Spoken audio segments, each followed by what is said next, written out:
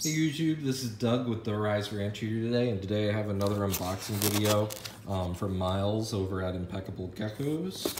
So let's get started. So we put a heat pack in there on top, great. It was taped, but I did open it just to check on the animals.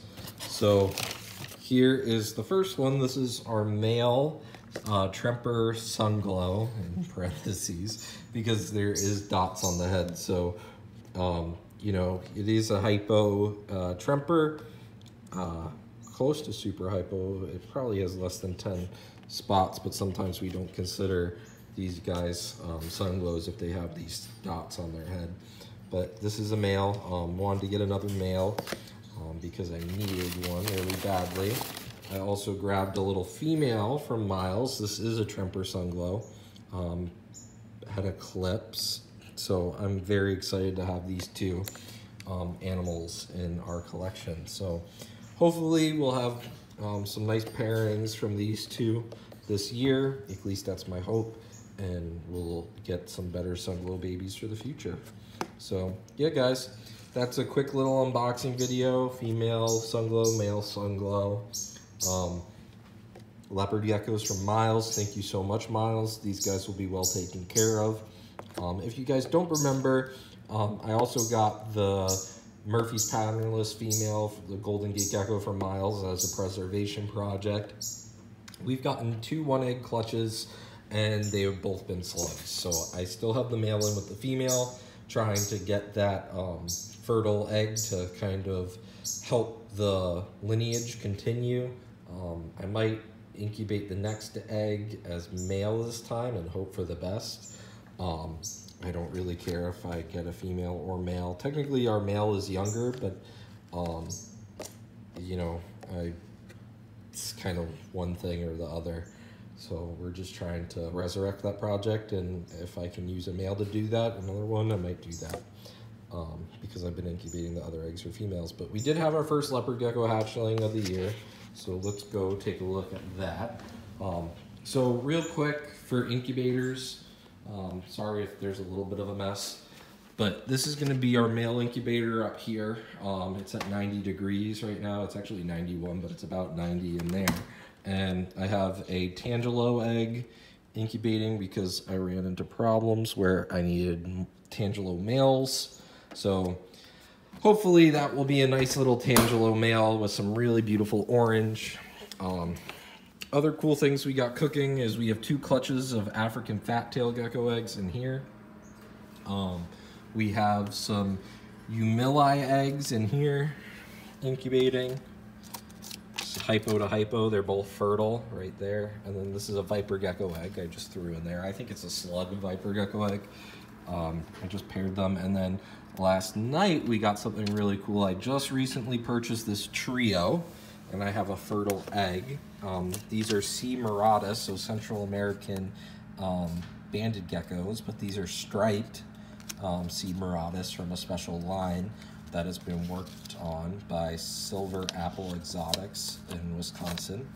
So um, very excited, got one fertile egg in there, incubating for the C. mitratus. Um, what else do we have in here? Got some Radar White Knight stuff here, some Raptor Tangelo slash white and yellow Raptor stuff there. I threw two males in there, so we'll see what pops out. Um, got some Yellow Line Blazing Blizzard eggs, some Super Snow uh, to Super Snow Eclipse eggs, some Inferno Het Tremper cross to Snow Blizzard eggs, um, Tangelo cross to Super Tangelo slash Super Giant Tangelo eggs. There's two Tangelos in there. Um, what else do we have? We have uh, Bell Sunglow. Two, I think we have two clutches in here, or one clutch now, another one on the way, something like that.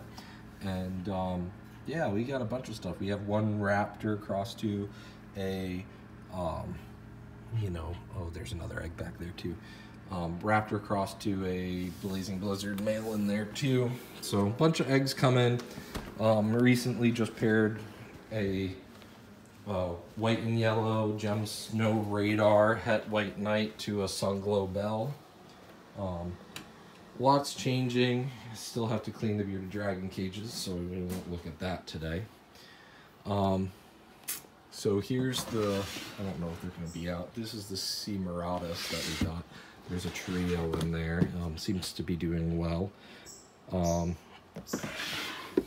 Koya female.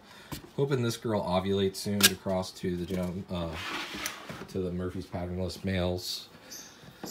Here's our Murphy's patternless female with our Murphy's patternless male. Um, you know, still having poop and stuff. What else? Uh, Viper Gecko males in here somewhere. Super Snow female, Het White Knight. Oh, this is what I was going to show you.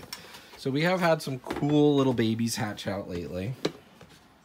That's the wrong tub. Okay, this is the tub. So this is a little radar. Um, two solid eyes. It might be a low expression snow. I really can't tell. Both parents were radars, so it should just be a radar.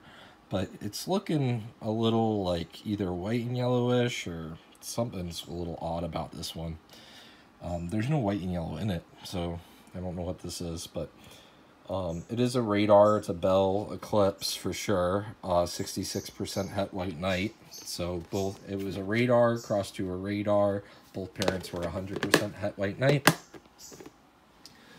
Um, what else we got? This one's cool. So this is a baby Pictus gecko we had hatch out recently. And I think it's an A male. It looks like an A male to me. It's pretty orange. So this was a brand new baby Pictus gecko we had hatch out, which is kind of nice. Um, so now I have three Pictus geckos. Hopefully this will be a female A male. That's my hope because I got some really nice snow stuff here. Uh, I'm going to show you this one. I think this is the striped one. I have a striped and banded snow pictus.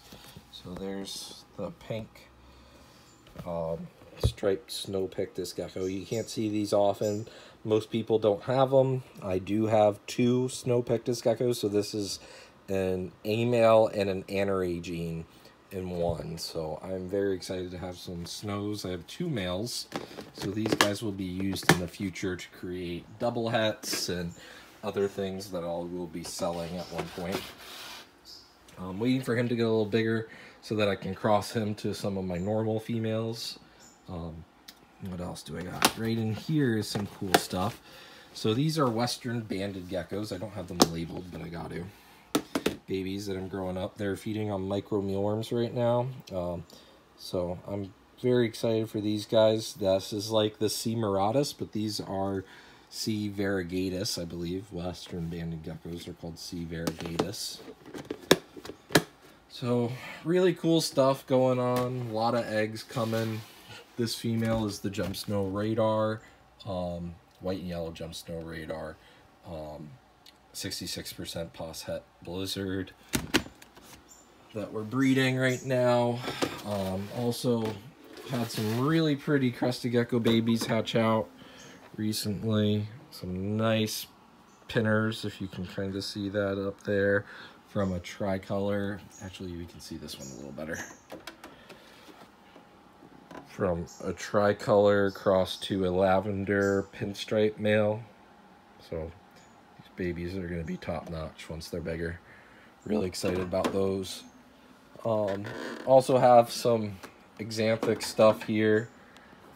Um, and then in here you can see an Oedura monilis gecko in there.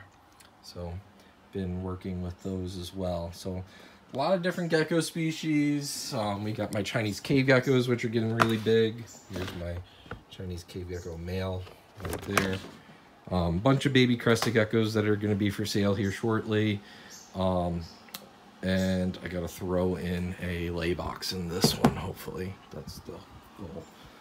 Um, so yeah, a lot of geckos, uh, a lot of different things going on. Hope you guys enjoyed the little unboxing video, those sun glows. Um, hopefully we'll be having eggs soon. Um, definitely have a lot going on here for sure. I don't know if this female laid eggs. She might have. Nope, no eggs. That's okay. So she's been gravid for a while, but she laid giant eggs before. So yeah, guys, comment, rate, and subscribe. Let me know what you think. Um, we definitely have a lot going on here. Here's some Eumillii. geckos. This one's out more. This one kind of looks hypo-ish. But yeah, comment, rate, and subscribe. Let me know what you think, guys. Take care. Bye.